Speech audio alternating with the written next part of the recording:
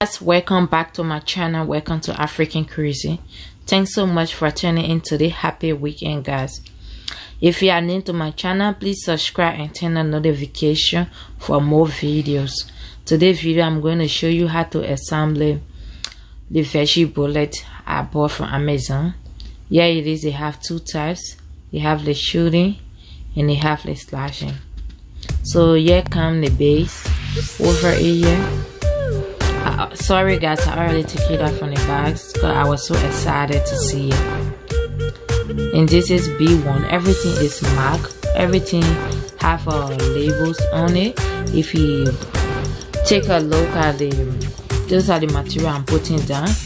And i have the instruction books that tell me all the names and everything. And everything have our names on it.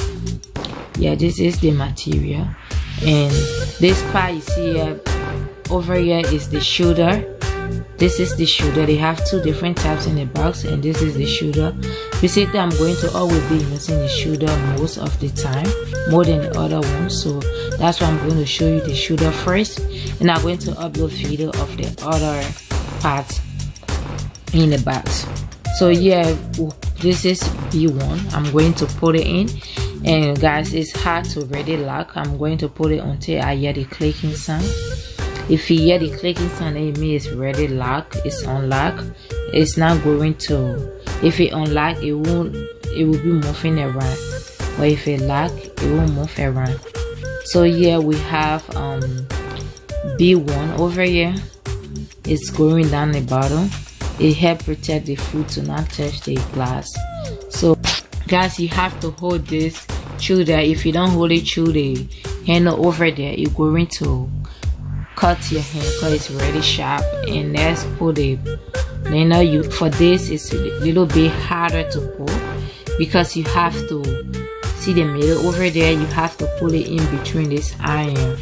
And then after putting it between the iron so i'm going to put the book so the the base cannot like stick on the counter like if I ready to take it off. So yeah you have to hear the clicking sound again. And then next make sure you put the you put this in the hole over there and hear the clicking sound and it's all locked. Now it's moving around. That's why I put the instruction paper on the base so it can move around. This is easy to pull but I'm finding it difficult because I'm kind of rushing. That's why but it's easy to pull you just have to get the concept in which to put it very easy. And there is it is. So guys thanks. Yeah that's all in name for the shooting. So you just put your greens in it and then start it. Going to be blending so thanks for watching. If you enjoyed this video or found it helpful please subscribe to my channel. Thank you. Love you guys. Bye